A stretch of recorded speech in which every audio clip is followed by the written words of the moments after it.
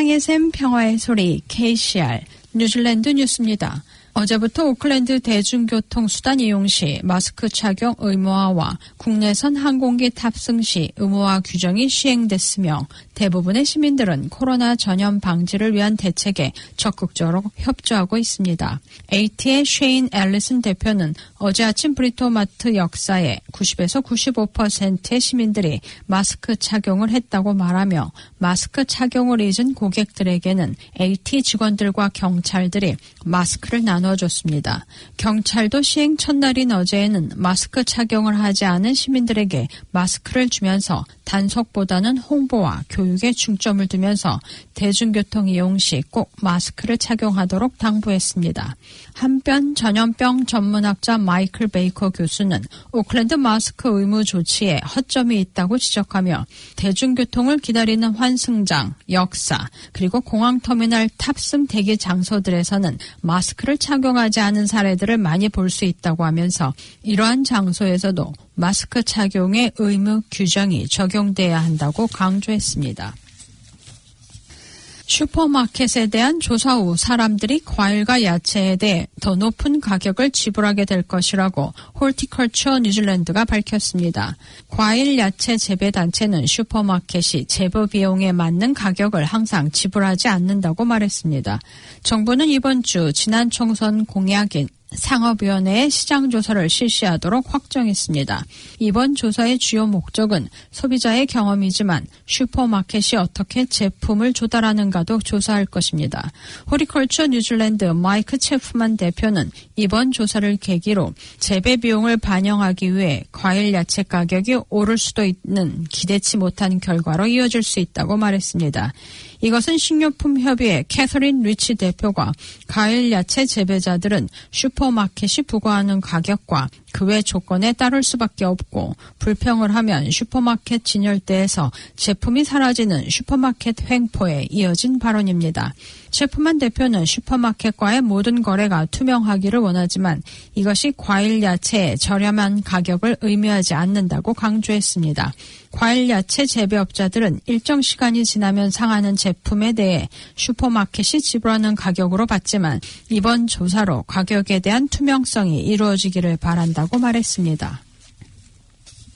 비엔젯 은행은 크리스마스 이브에 8개 지점과 내년 중반 30개 이상의 지점을 폐쇄하기로 결정했습니다.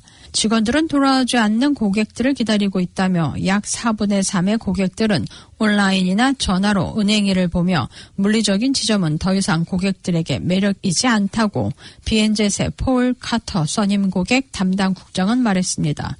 또한 코비드-19이 이러한 고객들의 디지털 은행 업무 처리를 가속화했다고 말했습니다. 비엔젯은 고객센터와 디지털 서비스를 제공하면서 약 100개의 지점, 400개의 ATM, 3개의 이동은행을 운영합니다. 12월 24일 폐쇄하는 8개 지점은 커트니 플레이스, 그리어톤, 마누레와 모스길, 마운트 망가누이, 파쿠랑아, 파파토에토에, 페토니입니다. 내무부는 지난 24시간 동안 대규모의 피싱 사기 사건 신고를 수백 통 받았다고 밝혔습니다.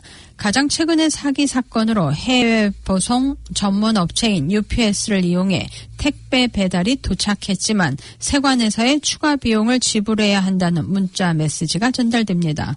메시지의 지시에 따라 관련 웹사이트에 접속하면 2, 3달러의 추가 비용을 내도록 안내되고 있으며 이 결제를 위해 클릭하면 아마존의 특별 할인 사이트로 연결되면서 개인 정보와 카드 내역 등을 입력하도록 안내되고 있습니다. 이와 같은 유형으로 로또의 이름으로 이용해 사기성 문자 메시지가 전달되기도 하고 있다고 내무부는 밝혔습니다. 내무부의 관계자는 이로 인해 상당한 액수의 금전적 사기를 당할 수 있으므로 주의를 당부하는 한편 만일 피해를 받았을 경우 즉시 은행과 경찰에 신고하도록 안내했습니다. 웰링턴에서 한 시각 장애인이 자신의 안내견에 파스포트와 증명서를 제시했음에도 불구하고 버스 승차 거부를 당하면서 논란이 일고 있습니다. 안내견인 가이드 독들은 법적으로 시각 장애인과 함께 모든 대중 교통 수단을 탑승할 수 있으며 또한 병원과 상점, 식당들과 같은 공공 장소에도 들어갈 수 있습니다. 이 시각 장애인은 자신의 푸들종 안내경과 같이 버스를 타려다가 승차 거부가 됐으며 그래서 가이드독에 증명서를 제시했지만 탑승이 거절당했습니다.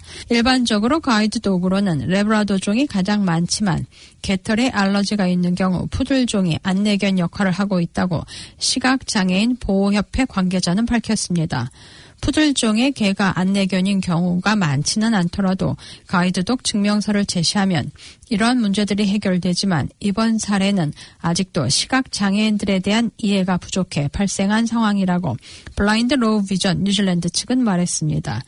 Blind Low Vision 뉴질랜드는 웰링턴 City Council과 버스 운행을 맡고 있는 Metlink사에게 장애인들에 대한 교육과 배려를 당부했다고 말했습니다. 오늘의 환율 정보입니다. 뉴질랜드 달러와 대비 원화의 기준 환율은 769원 39전, 한국에서 보낼 때 777원 08전, 한국에서 받을 때 761원 70전입니다.